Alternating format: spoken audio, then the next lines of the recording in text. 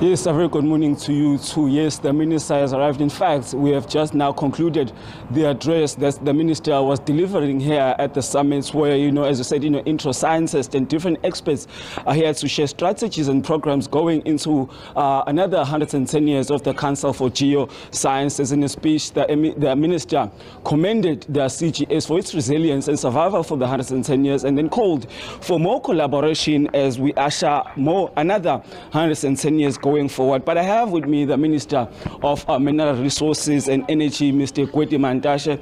We appreciate your time, Minister. In your speech, you alluded to the fact that uh, the CGS plays a crucial role uh, in assisting the country uh, as it tries to explore, you know, the, the, the, the, land that we have and trying to explore as more minerals as possible. I want you, Minister, to tell us, you know, how much of the data, you know, that comes out of the CGS informs, you know, policy making when it comes to exploiting the minerals here in the country? Uh, you must appreciate that celebrating 110 years is an event that is organized to actually mark the beginning of the next 110 years. Because that history of the 110 years, we are going to inherit. It is uh, in files, it is in all forms of reservation of information. But more important, the challenge is, is geoscience determining the future of the country. It is doing very well in terms of indicating what should we do differently uh, to develop our country. You remember that uh, South Africa used to be uh, mining, but mainly equated to gold mining. Today, it has all sorts of minerals. We're producing 70% of world platinum. We're producing massive amount of manganese, producing a massive amount of iron ore all that is a product of geoscience. As we move forward, we're talking of uh, green economy. What we are is not pronounced all the time is that that green economy will depend on what we discover geoscientifically uh, to be used to develop those technologies of green economy.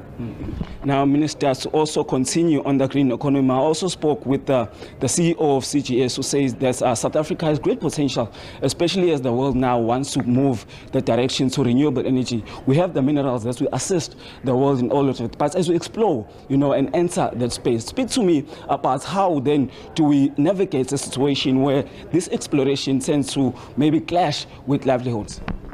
Uh, exploration will never clash with livelihoods. It generates livelihoods. Actually, it protects livelihoods and lives because it discovers minerals that we can use uh, and, and, process them into generating wealth. So it can't clash with livelihoods. It generates livelihoods. The only confusion in a polarized debate is when you equate exploration to destroying the environment instead of appreciating that you do exploration, you mine, but you do that responsibly. Uh, you protect the environment, but continue with the development. Therefore, geoscience must help us understand coexistence between development and environment. And geoscience will help us to understand that. Mm. And the data that you receive from CGS, has it played a role in maybe empowering, you know, local miners and uh, and bring in more people who want to be players in the space? Yes, it does, because let me, let me give you an example. I don't know if you know that many of the major companies have moved out of the country. Your Anglo uh, gold is no longer here, but gold mining continues. Uh, why is it continuing? Is because society is empowered to understand the value of mining and other people take over. You know, there's a mining company which is the biggest gold producer in South Africa called Harmony. When it was uh, changed, it was left with three months' life, and young engineers, enthusiastic and very energized, converted it and changed and built an empire out of it. It's a big mining house now. That is the power of geoscientific understanding and the appreciation of when you deal with marginal mines, geologists are, are more important because if you don't do that, you're going to sterilize that deposit. Um, uh, Minister, do you foresee South Africa ever playing a leading role when it comes to new innovations and discoveries, especially in the sector of geosciences? It is leading now. It is a leading economy now. That's why you'll see our CGS is invited throughout the continent. It's invited to Middle East.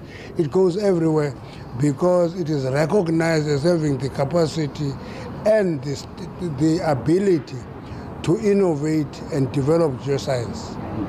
Minister, we thank you very much for your time. Thank you very much. That was the Minister of uh, Mineral Resources and Energy here in South Africa, Gwede Mantashe, just speaking to us, you know, about the kind of collaboration that they want to see with the CGS, also saying that, you know, South Africa is leading in the areas of geosciences thanks to the Council of Geosciences. Back to you in studio.